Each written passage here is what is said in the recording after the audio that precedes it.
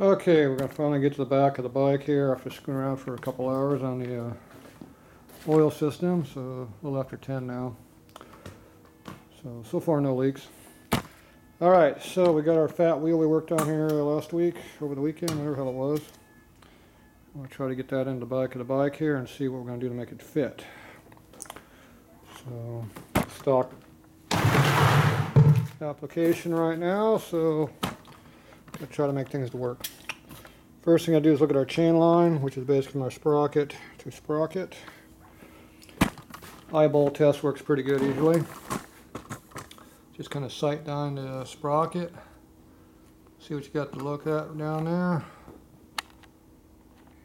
blow up. So you look down your sprocket teeth there, and the other teeth should be right up in front up there where they belong if they line up. They basically are out of vision if you're lined up correctly. And you can also see there's about a half inch gap between the sprocket and the tire. Remember there's no chain. Chain's going to take up probably a quarter inch of that, at least 3 sixteenths minimum, probably a quarter. So we only got about a quarter inch of a gap on that tire right now. and this rim here is an inch wider than the one on the bike. so we're pretty sure it's going to spread.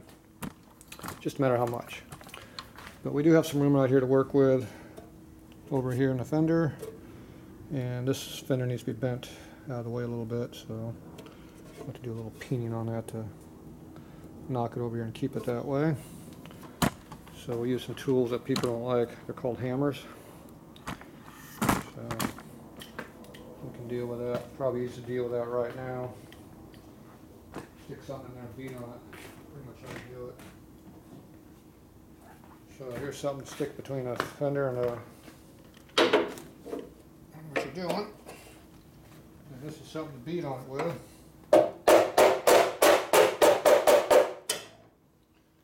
If you're lucky, it'll do what you want to do.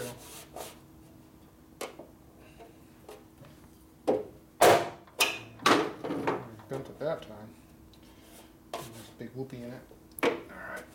I have it further up this time.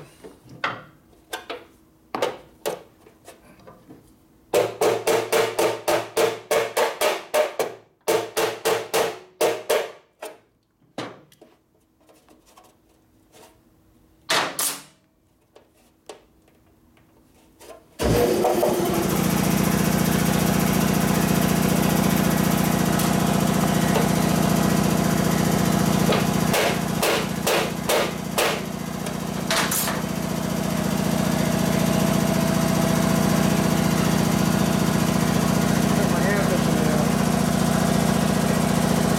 There we go, professional tools.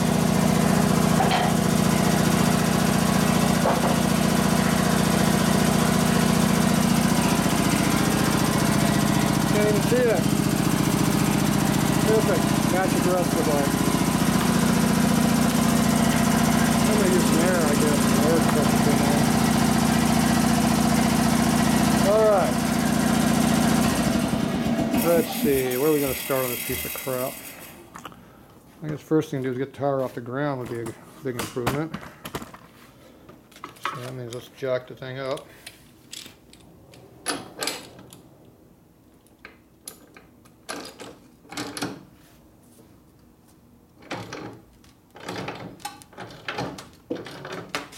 we go. Just enough the tire spins all you need. That will get the uh, axle will pull out nice and evenly. Okay, this has uh, lug nuts on it, so you gotta deal with lug nuts, which is this kind of junk. I forget if these are Harley lug nuts or aftermarket lug nuts. So different wrenches for different applications. So those are right through these holes over here. So, out of the way of my feet so I can work. Are we blown up or not? Yep, we're unblown. We're unblown! Okay, this is an aftermarket wrench. That's an aftermarket wrench that used to be look like this one here, see? See how that works? This is modified to spin through here without dragging through, through the hub in here actually. And this is a genuine Harley wrench, which only works with genuine Harley lugs because it's bigger diameter that does not fit in there, so not Harley. Inferior Japanese product. Probably not even Japanese, probably Taiwan or China.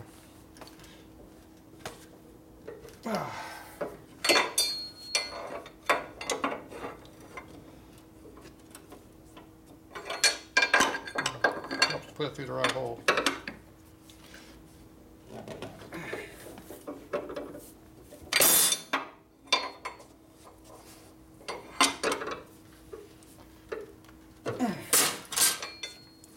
Why I made a tool like this?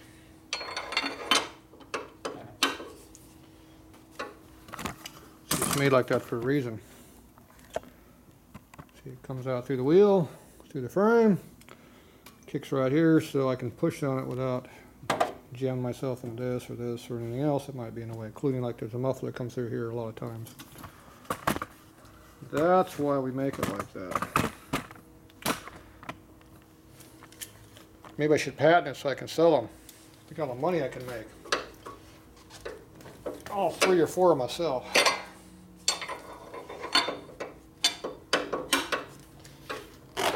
Yeah, who's gonna be the first one to steal my design?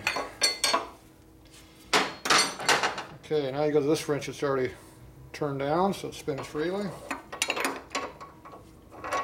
So the reason it's like that is so that right through the hub here, see how nicely it turns now without digging into the hub? Until it gets about there and starts coming into it again. That means I need to modify it some more. Go ahead and cut some more of it away. Yeah, about another half inch would work.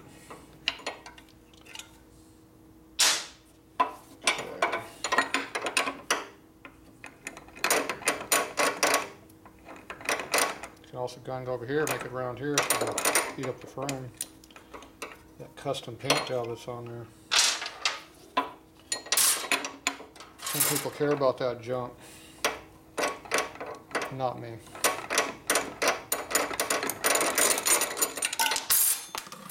That means it's been worked on. Somebody actually was riding and did maintenance on it. That's why it's got those scrape marks in there.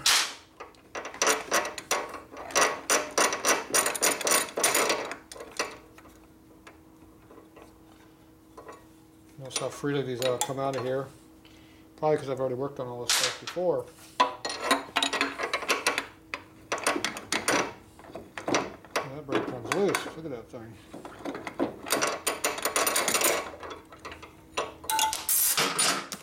I'll try to keep it up there. Alright. Failed again. I also failed to uh, let the air out of the tire yet too.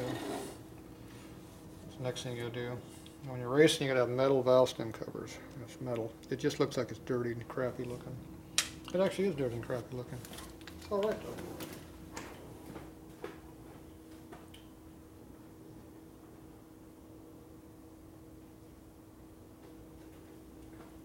When that dumbass inspector comes by and says, "Oh, you got rubber valve stem caps," "You dumbass, open your damn eyes up." That's half the fun.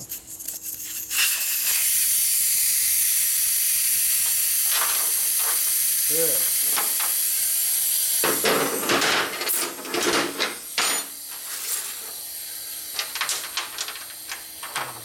Get stuff out of your way when you're done with it.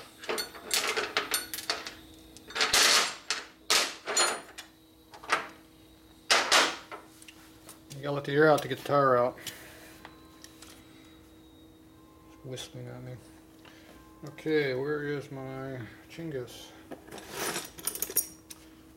This is called a, a flap, a fender flap. It goes up, so you have to jack the bike up 20 miles an hour. See, goes like that, and it's off. Fender can go up. All old bikes have this option. Only new bikes don't.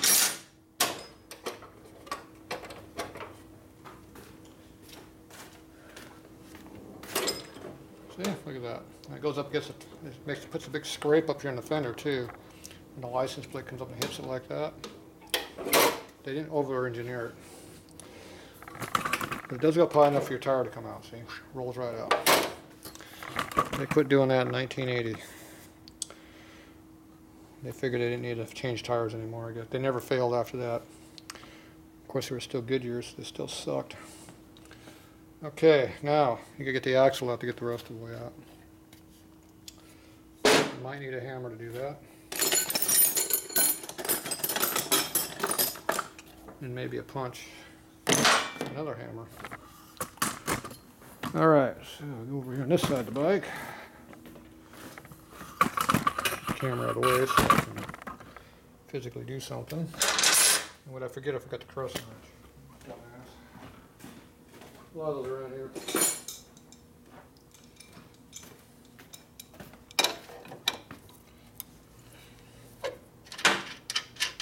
That was not Gorilla Torque.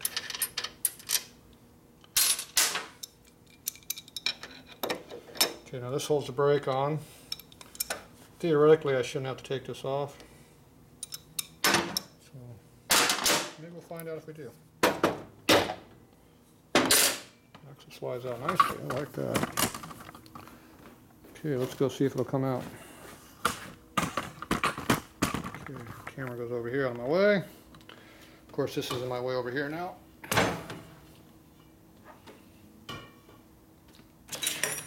All this in my way too.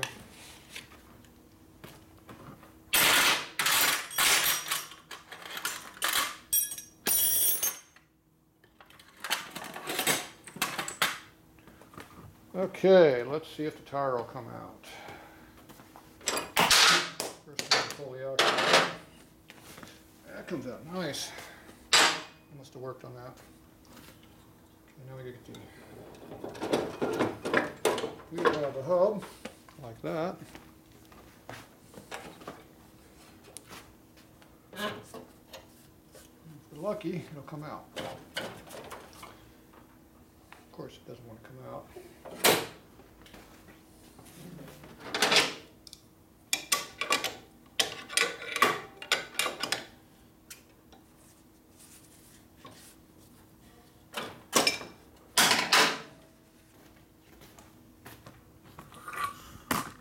Okay, so you got to overcome the interference point. See brake drum and bearings and studs. Tire hits up there, hits over there, hits up in the front, hits over here in the frame. That's why you let the air out. So it gives you a little extra half inch of clearance, which allows the wheel to come out. Now this is a lot wider than the stock tire also, which does not help.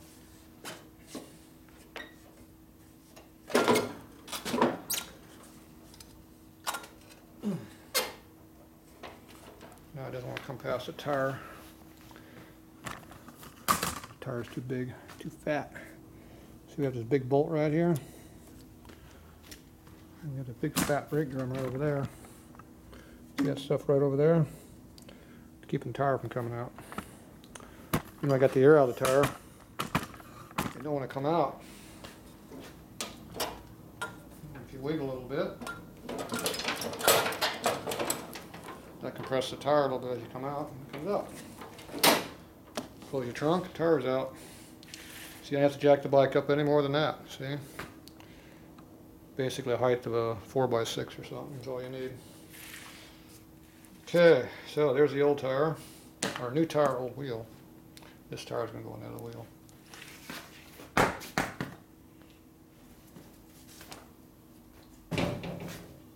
Okay, new wheel.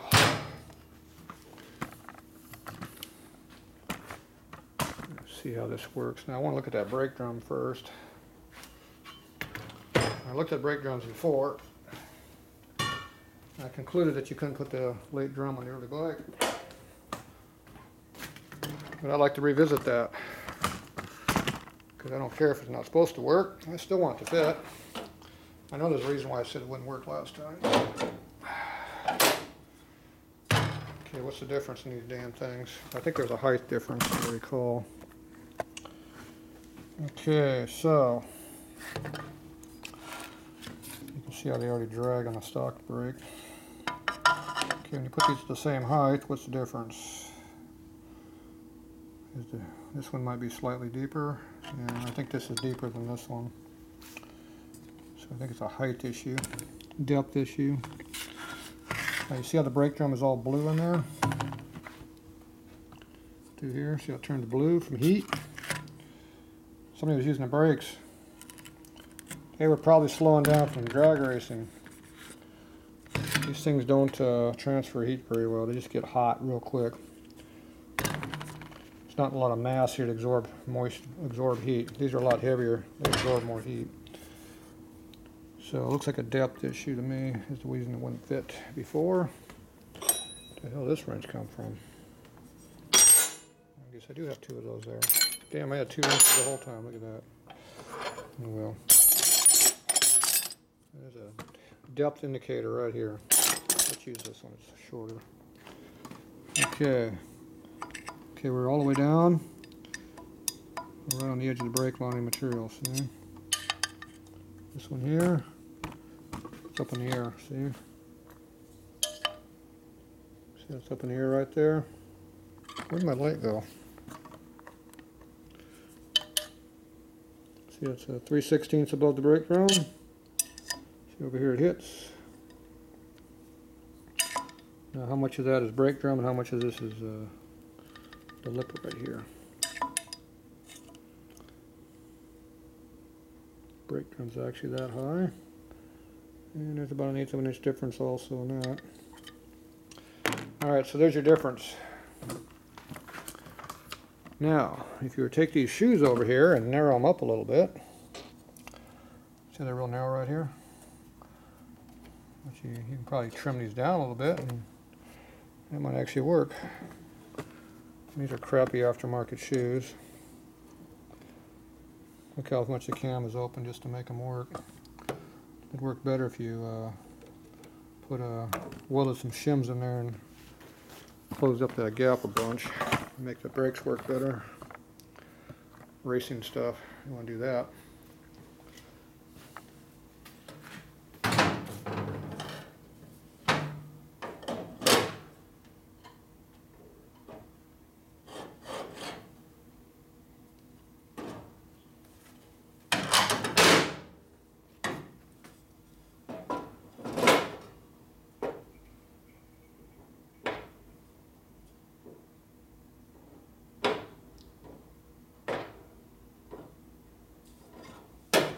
Okay, this goes about a hundredth thou past the lip of the backing plate.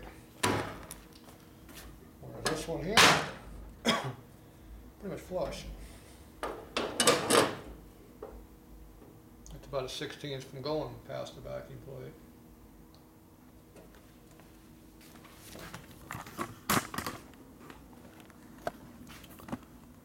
See how it overhangs the backing plate here? That's your difference. So 58s run real narrow brake linings. Looks like we need narrow brake linings. Now, I haven't tried the 63 drum. We're only trying the 58 drum. Let's try a different drum. We got a selection of drums over here to choose from. You just have to find the right one. Stack over here for mock-up. Don't scratch up his front, he'll get pissed. Okay, this is a nice thick one. Yep, got his gas tank though. Well, actually, it's my gas tank still, so it doesn't matter. Okay, this one's marked 63 on it. This is a 67 because it's got bearings in it. Let's see. Different styles. See, this takes a ball bearing all the way through. This here, there's no bearings in it. This has a big lip cut out of it. 63s don't have no lip. They don't cut the lip. Somebody cut this drum off here though, so it's not stock either. What's this one here? This is another screwed up one. What's this one? Running out of drums. Yeah, that's a crappy one. Okay, so this one here is a 63. Been modified or something. Maybe it's a 58 that's been all butchered. Who knows? It's hard to tell. I guess I have to find a 63 drum someplace. I know there's one at. There's one right over there on a wheel somewhere. Not that bike, that's a Sportster. Oh, it's on that bike. He's already together though. Yeah, I knew there was one floating around. Yeah, I got some more drums floating around. Gotta go find them. That's the easiest way to get back there. Not this way. We're going this way. It's dark back here. There's some more junk wheels. Yeah, we're cruising. More motors. More junk. Alright. Down on there somewhere some drums. I'm thinking that's a 63 drum right there because it looks like one.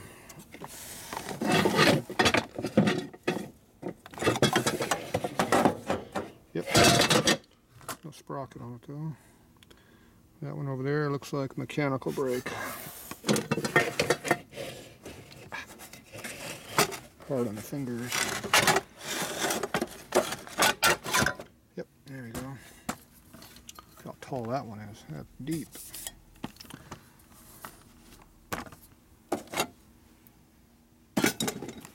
What else is in there?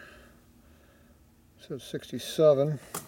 I don't want a 67. What's that one in there with a sprocket on? Oh, it's a heavy bastard. Oh. That's another bone. Uh, earlier chewed up. It's the same difference. Hard to tell. Definitely chewed up. Alright. I'll go with this one down here as being a good one. Alright, we'll use this one. Lock up. Yeah, more, more race bikes. Where all these race bikes come from?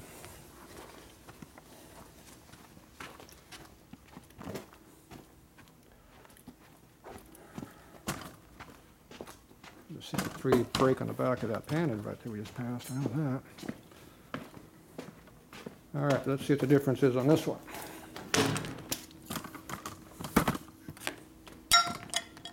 Ooh, look how tall that one is. Oh, camera's down. Okay, this is full depth, just like the mechanical brake would be. Okay. Let's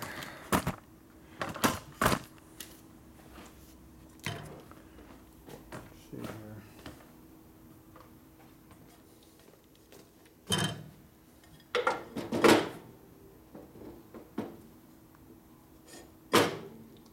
Fit though. Hitting on something. It's not even close. Oh, it's hitting on the braking plate. That's what the difference is on that.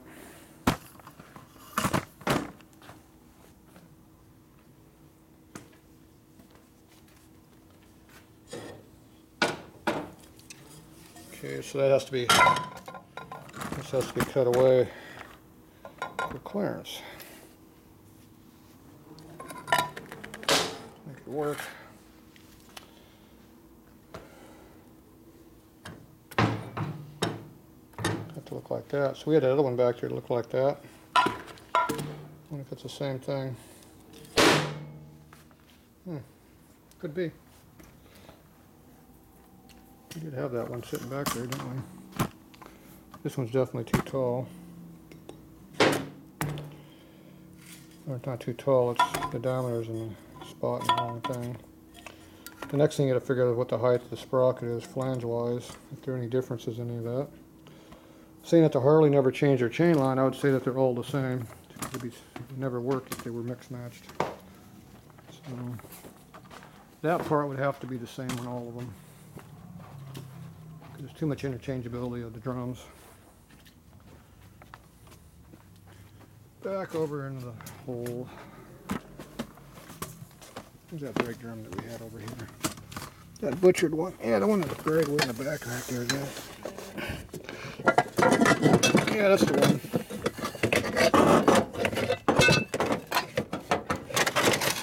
Yep, that's the guy. 59A.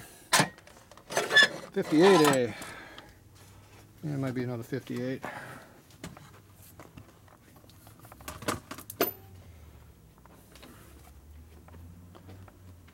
Yep, 58 crap. I believe I don't have any 63 to 66 brake drums laying around. Unless the 58A is. Little measuring device. Nope. Another short one. All right, so it looks like in order to use the brake drum, we're going to have to cut the shoes down to make it work, or just put the old one back on. It's the same conclusion I came to before. Things don't work. This one might work.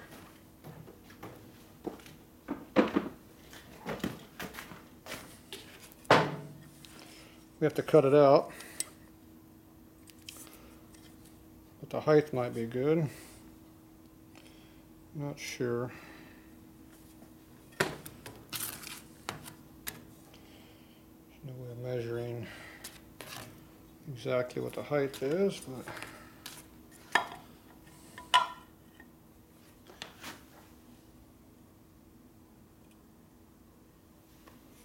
it's close to the same height. You know where the sprocket goes. Probably make it work. So we might be able to take a 63 drum and cut it down to fit, maybe. Not sure. Have to do more technical measurements than this.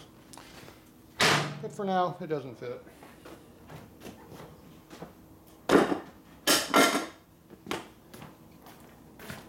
Same conclusion I came to last time I screwed it. But I can make it work if I cut those shoes down over there. It will fit. But for now, this works too. You don't have to screw with it. Once that brake drum is freed up, yeah. The problem with this is you spin these darn rivets out, high RPM. So, you know, you tell if you got tight brake drums on there or not, sprocket, hit it with a hammer. See how solid that is? That means they're still doing their job. Sound real dull and thump, thump. It's no good. You definitely have a spinning sprocket. Can't go fast with your sprocket spinning. I guarantee that right now. Okay, so now we got to figure out how to get the big ass wheel in there. It's one of these. Let's see. The first problem is, is the rim. The rim don't fit. Big ass bolts run away. See, it's hitting right there, and we're hitting right over there. Things are kind of close.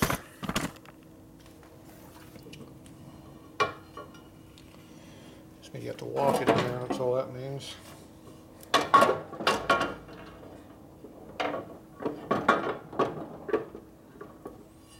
Goes on pretty easy with no tire. Good luck on doing that with a tire on it. Okay.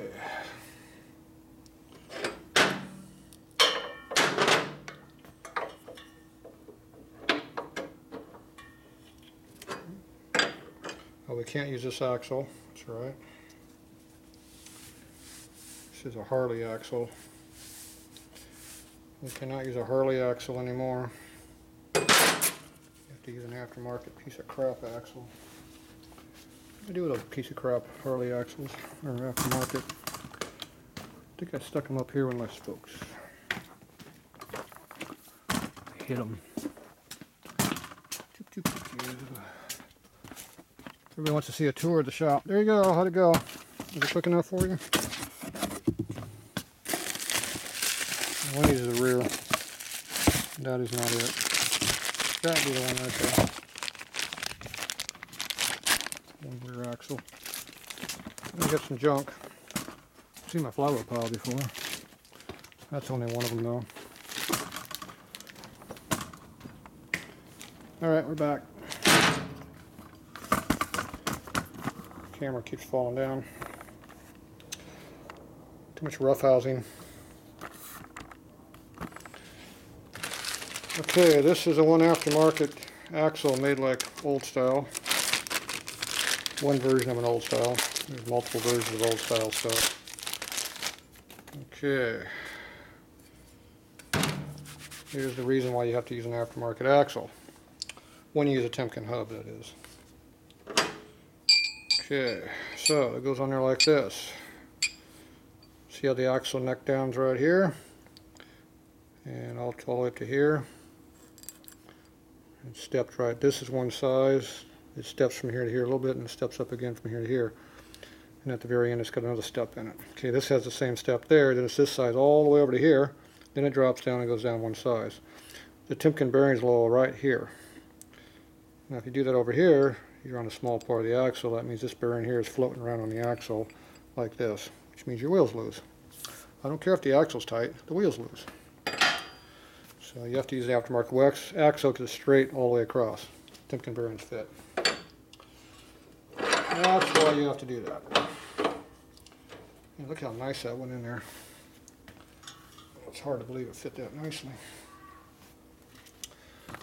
Go on the other side. See what the axle looks like. It looks like it's really long. See, just because it fits one way doesn't mean it fits some other way. The next problem is you want to make sure that that step doesn't bottom out inside our start or sleeve, which we can't tell at this point. But if it does, it'll be a false torque. That means that this nut will be tight and it'll be loose. Okay.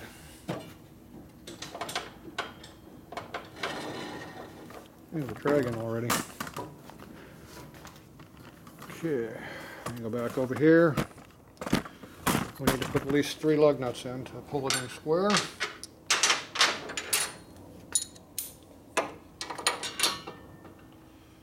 Now, there's one problem. These don't fit in the hub. That makes it really hard to put the lugs in. So before I powder coat the other set, I have to open up the holes.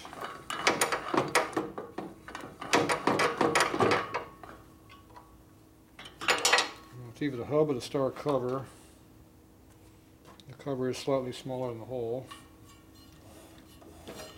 Just some drag on that thing.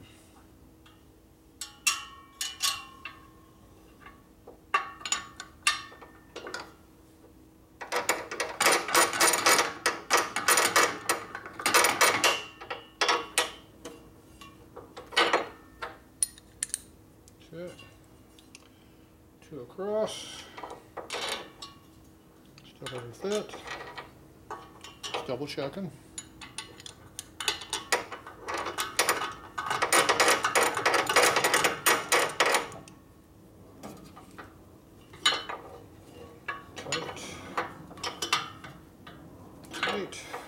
Dragging on the shoes there.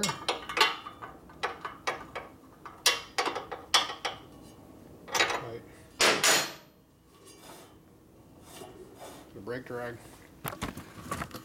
Okay, now the part that we were concerned about the not fitting was, in case you couldn't see, this is supposed to go through the hub right here. You see how it doesn't go through? Let's try the back side here. I wonder it's not plugged. Yeah, it does not fit through the. It does not fit through the hub hole. Or the hole in the hub, I should say. And then the star hub overlaps it also, so. So they made the holes too small here to put lugs in. Or maybe these aftermarket lugs are too thick, I don't know. I've had that problem before. Okay, so there's our wheel. now how centered is it right now? Looks to me like we are slightly to the left, just a tick.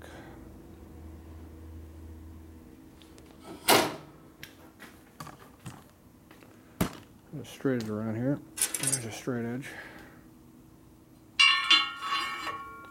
Okay, see how it goes all up into the fender?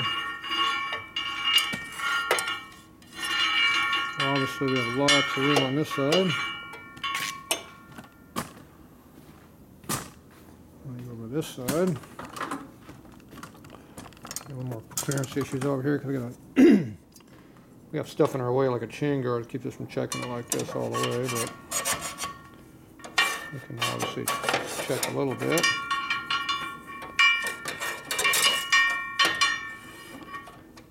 Well, appears to be about the same. Okay, so we're about equal. About equal clearancing. Okay, now let's look at our sprocket clearance. So right now, with the rim, we got about three quarters of an inch of clearance. So that means we have a half inch of clearance to the chain, maybe five eighths from the side of the rim. Okay, so now we need to figure out how fat the rim is. We know it's a four inch rim, but the rim's more than four inches wide on the outside. So let's go measure it.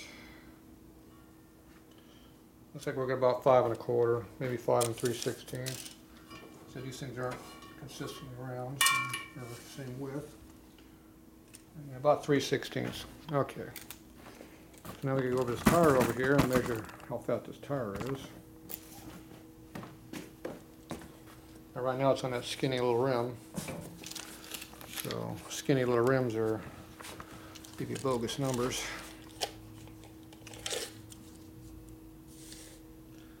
Five and a half.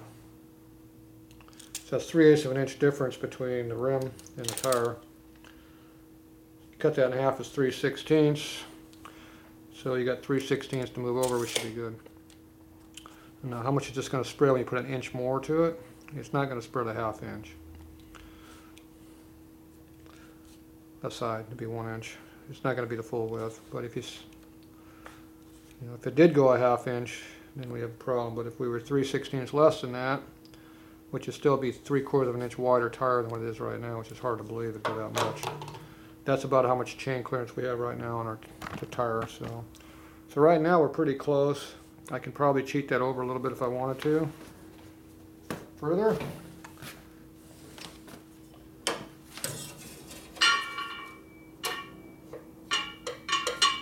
like I'm already cheated pretty good right now. I got about a quarter inch of clearance up inside the fender. Well, You weren't even showing what I was doing. Crappy camera guy. Okay, so you put that up on the rim, you go side hold it straight aside. You where the tire's at, you got a lot of clearance. You get up in there tighter and it starts, gets into it. So we don't know how big the tire is in diameter, so we have to guess. Okay, this one here doing the same thing. A little bit tighter. So right now it's offset slightly to the right, which is what I did. So I think we can continue with the, ti- with the rim in the same spot, and it probably will work halfway decently. So until we put a tire on there, we don't know. But anyway, that's, it definitely fills up the fender with a big ass wheel in there. Okay, so I think we're probably gonna be okay with where it's at, so that means I can go ahead and true up the wheel. Tighten the spokes up all the way up on the damn thing. And, uh, put a tire on it and see if it fits. If it doesn't fit, then we either gotta cut the tire or I gotta move, take it all back off, move the wheel over a little bit and play with it some more. But initially, right now, it looks like we're close. So I'm pretty, uh, pretty happy with that. And like I said, if I had to, I can cheat the chain over a little bit on the front sprocket. In the back if I wanted to. Could gain a little extra. But you'd have to offset the wheel that way, because if you moved everything this way, you would have to move the tire more that way, relative to where the hub is. So you still have to re-offset it. But, uh, anyway, that's where we're at right now, so I think we're good to go on that. Scooby don't like me working all night. It's eleven o'clock almost now. Got my new clock. like my new vintage clock. Might be able to drop it twice before it breaks it. All right, so there's the black rear wheel. Looks a lot better than that stupid ass chrome thing over there, doesn't it? I hate chrome wheels. The problem now is that brake drum is chrome. Ugh. That's ugly. I could go with them crappy cast iron ones over there. It'd be a lot better looking. But- All right, that's it for now. I'll play this with another day. Meantime, we're gonna see what our oil leak does. Think it's leaking yet? It appears to have no oil leaking out of it right now. And it looks like the ThreeBond sealer is s- stopped oozing also. So, so far so good. The repairs are holding. Hopefully they continue to hold and don't continue to be a pain in the butt. But anyway, the rear wheel looks pretty nice. All right, that's it for tonight.